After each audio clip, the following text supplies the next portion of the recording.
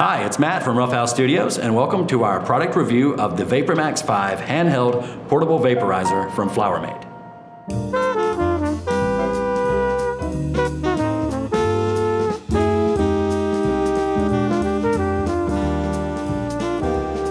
First of all, I'd like to thank the guys over at wizardpuff.com for sending out the VaporMax 5 for us to review. You can check the description of this video for a link to this product at their storefront. Okay, here's what came inside the box. The VaporMax unit itself, instruction manuals, a wall charging unit with a vertical adapter, two additional screens, a cleaning tool, and a tool to scrape out the vaporized marijuana from the chamber. So let's talk about some of the key features of the VaporMax 5. The VaporMax 5 unit itself is very discreet and inconspicuous. It's well designed, it's made of aluminum, the whole outer casing is metal, it seems very durable, and it virtually seems indestructible. The battery pack is unique in this and it features two Samsung 2600 milliamp batteries uh, versus the one battery that you find in PAX and many other vaporizers. It has a really long charge time and they claim over 10 sessions per charge with this battery. It works off of one single button on the side. That one single button will control the power to activate the battery to cut the unit on and off and also to activate the heat element itself. The heat element is a single automatically controlled heat element. It stays one constant temperature throughout the whole cycle. It is not adjustable. The mouthpiece is stored into a bottom compartment you remove the mouthpiece from the bottom and you screw it into the top of the heating chamber at the top to complete the unit. Here's how you use the VaporMax 5. The first thing you want to do is to fully charge your device. You do this by plugging the wall adapter into a wall outlet and then plugging the other end into the charger base bottom. A red LED indicator will let you know that the unit is charging and when it turns green you'll know that the unit is fully charged. The second step is to turn on the device. You turn on the device by depressing the side button five times within three seconds. This will turn on the battery, which is indicated by an LED light on the front and side of the grill. This LED light also illuminates the heating chamber. Now the device is turned on, you're ready to add your marijuana. Slide open the heating chamber door at the top of the unit to reveal the heating chamber itself. Grind your marijuana and insert it into this heating chamber. Do not overpack it. When you screw the mouthpiece in, it will depress into the chamber about a half inch. Now you're ready to insert the mouthpiece. You can remove the mouthpiece from the chamber in the bottom of the unit and screw it into the top of the heating chamber. Now it's time to turn on the heating element to the unit. Do this by depressing the side button for three to five seconds, then releasing it. A red LED indicator light around the button will let you know that the heating element is on. When that light turns green, the heating element is up to full temperature and the device is ready to hit.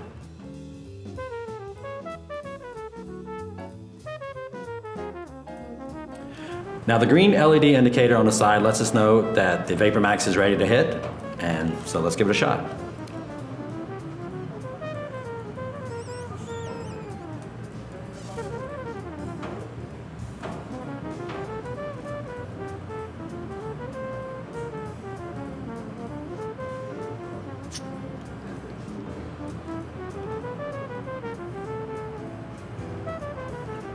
Really nice, smooth hit.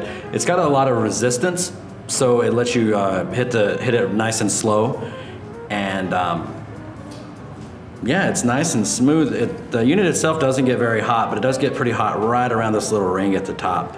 But it's really conspicuous, easy to use. You can drop it right in a pocket, almost completely disappears. Just looks like a cigar or something sticking out of your pocket. Oh yeah, let's give it another shot.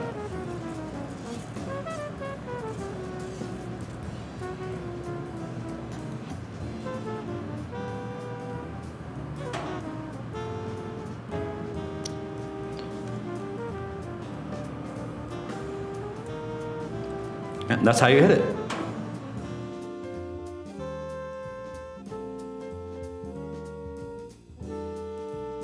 And now here's my pros and cons for the FlowerMate VaporMax 5.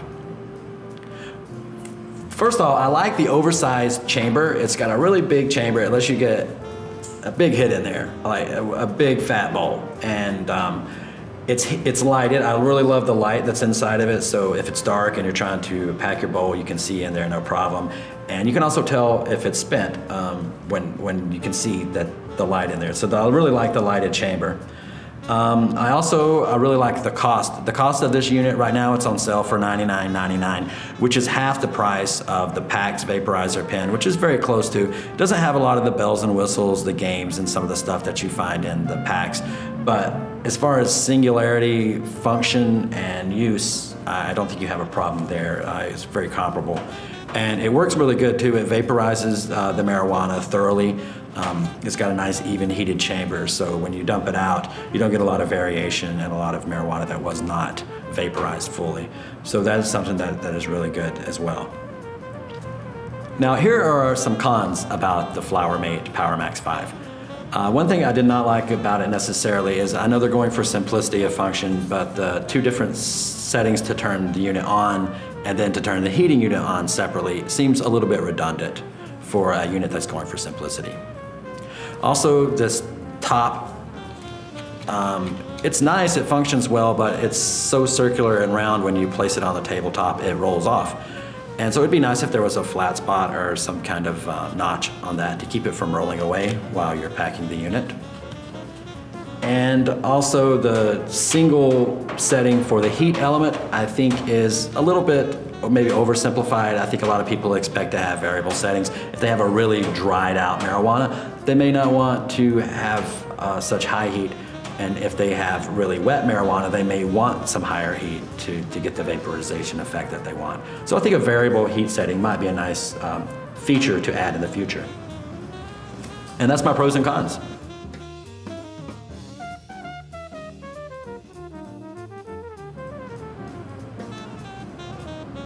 So an overview, I would have to say that I would definitely recommend the VaporMax 5 from FlowerMate. Uh, this is a really good entry into the handheld vaporizer market. I think the $99.99 price is a very fair price. Again, half the price of some other competitors out there.